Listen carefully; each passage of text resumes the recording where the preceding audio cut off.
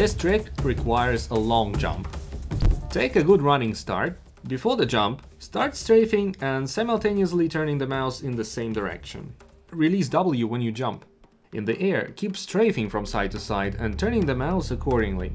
This allows you to jump farther. Hold control right before landing. To better see how strafing accelerates you, launch a local game, open the console and enter SV Cheats 1, SV Gravity 0. Now, without using the W key, try to move forward with strafes and mouse movement alone. Share in the comments how that went. And before we continue, I want to recommend the sponsor of this video, ForceDrop, a website with lots of CSGO cases with quality skins. Battle against other players for items, complete contracts, test your luck and upgrade one of your skins for another skin you want.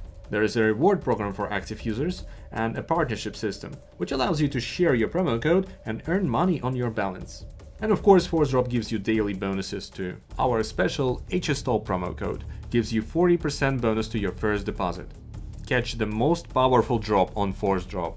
The link is in the description.